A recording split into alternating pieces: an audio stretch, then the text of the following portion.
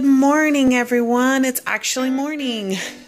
I went to sleep last night, aka passed smooth out, and got up at 7 this morning. It's now about 10:30, and this is what I'm going to work on today, which is mocha-chan.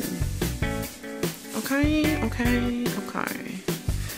And my laundry room. So, I'll take you along for the ride.